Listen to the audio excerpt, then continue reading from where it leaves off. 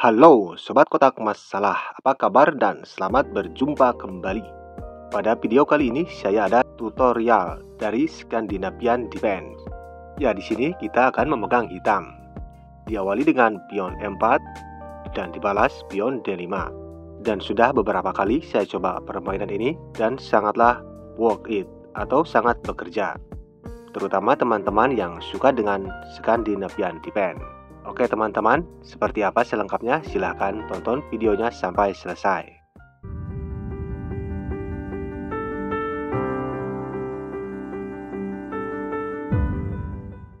Baik, Sobat Kotak Masalah, langsung saja kita mulai ke tutorialnya atau ke trik-triknya.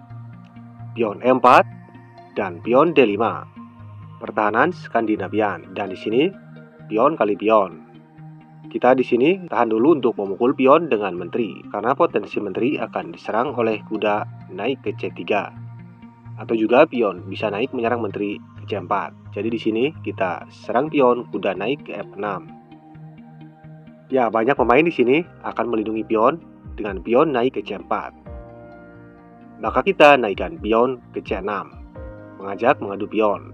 Biasanya di sini putih akan menerima penawaran pion dengan memukul pion kita lanjut kuda tali pion. Di sini kita punya dua kuda yang sangat aktif, siap melompat ke sana kemari, berayun-ayun menerjang gelombang. Dan juga kita sudah punya gajah diagonal putih yang siap menyerang menteri naik ke G4. Di sini langkah terbaik putih adalah kuda naik ke C3 atau bisa gajah ke E2, tentunya mengkaper raja putih karena pile E sudah terbuka. Tapi ketika saya memainkan Skandinavian, banyak lawan saya atau mayoritas dari lawan saya menaikkan kuda ke F3. Ya ini langkah yang paling banyak saya temui. Ya mungkin maksudnya juga sama, akan dilanjutkan gajah naik ke E2 dan selanjutnya rokade pendek. Tapi apa pun itu rencana dari putih, kita naikkan pion ke E5. Tentu pion di sini akan kita pecut lagi naik ke E4, menyerang kuda dan di sini kita juga membuka jalan gajah diagonal hitam. Bisa dilanjut naik ke C5. Dan biasanya di sini putih akan menjawab dengan kuda naik ke C3 mengontrol petak terang E4 atau juga pion naik ke D3. Sama di sini mengontrol petak terang E4. Oke, pertama di sini bila kuda naik ke C3. Maka kita lanjutkan pion naik menyerang kuda. Kuda di sini tidak mungkin kembali mundur ke G1 dan biasanya kuda di sini akan kembali menyerang pion naik ke G5. Pion pusat hitam di E4 diserang dua kali oleh kuda. Jadi kita di sini lindungi kembali pion dengan gajah naik ke F5. Dan di posisi ini, putih sangatlah terlihat kaku. Gajah putih diagonal hitam sangat kesulitan untuk berkembang karena pion putih di D2 sangat kesulitan untuk bisa naik mengembangkan permainannya. Tentunya pion E4 kita sudah siap menerjang bila pion putih di D2 merangsak naik dan pion di H7 juga siap naik menyerang kuda dan kuda hanya bisa mundur ke H3. Jadi terserah kalian di sini mau memukul kuda dengan gajah, tentunya struktur pion di sayap Raja Putih akan rusak. Biasanya di sini putih akan kembali menyerang pion dengan menteri, naik ke E2 dan Menteri Putih di sini secara tidak langsung berhadapan-hadapan dengan Raja Hitam. Kita di sini serang Menteri kuda naik ke D4. Ancaman kuda melompat ke C2 sekak benteng. Jadi Menteri di sini terpaksa harus kembali ke D1. Maka kita bisa usir kuda oleh pion. Ya, dan seperti yang sudah tadi saya jelaskan, kuda di sini harus mundur ke H3 karena tidak ada petak aman Ya, kita di sini bisa memukul kuda dengan gajah. Otomatis di sini pion memukul gajah dan struktur pion di sini rusak. Tapi bukan hanya itu, di sini justru akan lebih parah. Di sini sekak mat dalam dua langkah. Kuda sekak ke F3 dan di sini raja hanya bisa naik ke E2 atau juga di sini bisa menteri memukul kuda untuk penyelamatan raja. Dan bila di sini menteri tidak mau berkorban, raja harus naik ke E2 dan skakmat Menteri ke D3. Cukup indah dari pertahanan Skandinavia. Oke, teman-teman, kita kembali di posisi ini.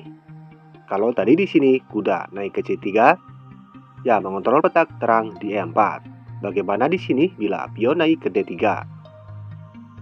Kita lanjut di sini, pion menyerang kuda. Bila pion di sini memukul pion, maka kita pukul menteri oleh menteri. Dan raja kali menteri, maka kita lanjut kuda kali pion. Siap memukul pion di F2, ancaman serak benteng. Dan pastinya di sini gajah akan naik melindungi pion Kemudian kita balas gajah naik ke F5. Persiapan rokade sayap menteri. Dan sekaligus nantinya benteng sekak menyerang raja. Biasanya putih di sini akan melindungi raja, kuda naik ke D2. Kita lanjut rencana kita raja rokade panjang. Ya, tentu di sini raja akan bergeser untuk melepaskan pinan kuda oleh benteng. Sangat kecil kemungkinan di sini raja bergeser ke E1 karena tentu di sini gajah akan kembali mempin kuda naik ke B4 dan raja juga di sini tidak mungkin naik ke petak terang E2 karena di sini akan menghalangi gerak langkah dari gajah diagonal putih. Dan langkah raja yang paling mungkin di sini adalah bergeser ke C1. Ya, kita sekarang bisa memukul kuda dengan kuda. Setelah kuda di sini kali kuda, maka kita naikkan kuda ke B4. Kuda di sini siap naik ke C2, menggarpu benteng dan gajah. Bila putih di sini memukul pion di A7 dengan gajah, silahkan naikkan kuda menyerang benteng. Benteng menyelamatkan diri ke B1, lanjut gajah naik ke B4 menyerang kuda. Ya, kuda di sini diserang dua kali dengan benteng. Bila gajah di sini melindungi kuda, Tentu kuda memukul gajah, dan setelah pion kali kuda, maka kuda putih di D2 gratis akan dipukul oleh gajah. Jadi kuda putih di sini harus pergi meninggalkan ancaman dari gajah dan benteng dengan naik ke F3. Kita lanjutkan benteng ke E8. Ya, ancaman yang sangat serius di pusat pertahanan raja. Ya, tentu di sini Putih akan berpikir keras untuk menyelamatkan rajanya. Dan bila Putih di sini melanjutkan pion naik menyerang gajah, silahkan teman-teman di sini temukan skakmat dalam dua langkah. Ya, atau teman-teman bisa menemukan langkah apa yang terbaik kira-kira harus diperbuat oleh hitam. Dan sekarang giliran hitam untuk melangkah. Oke teman-teman, jadi itulah video saya dalam pertahanan Skandinavian. Semoga teman-teman menyukai video saya kali ini. Dan bila teman-teman suka dengan video-video seperti ini, tidak ada salahnya untuk subscribe, like, dan tentu nyalakan loncengnya. Agar tidak ketinggalan video terbaru dari kotak masalah. Salam untuk teman-teman semua para chess lover. Sekian dan terima kasih.